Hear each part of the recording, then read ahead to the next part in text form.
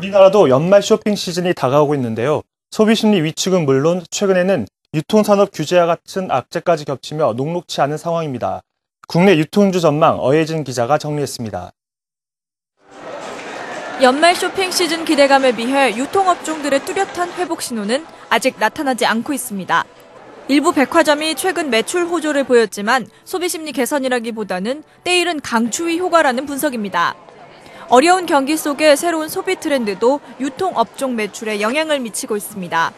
저가 상품에 대한 선호도가 높아지고 추워진 날씨 탓에 패션과 화장품과 같은 백화점 주요 수익원은 홈쇼핑으로 옮겨가는 추세입니다. 지금 현재 현상을 기저적으로 유통업이 전반적으로 좋아진다라고 해석하시는 건 좀 무리가 있다라고 보고 있고요. 그렇지만 현재 유통업종 주가가 상당히 많이 떨어져서 저평가되어 있고 어, 내년도로 넘어가게 되면은 어, 개선될 수 있는 여지들이 조금 남아 있기 때문에 이런 부분에 대해서 기대해 보면서 내년 하반기 반등을 노려볼 수 있는 각종 규제에 초점이 되고 있는 대형마트는 그야말로 울상입니다. 영업일수 제한에 이어 밤 10시 이후 영업 규제가 생기면서 대형마트는 재고 손실 부담 등 타격이 더 커졌습니다. 이러한 탓에 유통업종 주가는 이미 빠질 만큼 빠졌다는 평가입니다.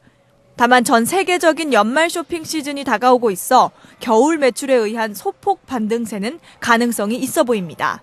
무엇보다도 재정절벽 관련 이슈가 시장을 지배를 하고 있는데 미국 연말 소비 시즌에 대한 어떤 기대 요인이 같이 작용할 것으로 예상이 되기 때문에 일방적인 하락보다는 등락 양상이 나타날 것으로 예상이 되고 있습니다. 당분간은 바닥에 대한 기대와 예상보다 약한 회복이 반복되면서 유통을 비롯한 경기 민감 소비재 종목들의 주가 역시 박스권을 형성할 것으로 전문가들은 내다봤습니다. 한국경제TV 어예진입니다.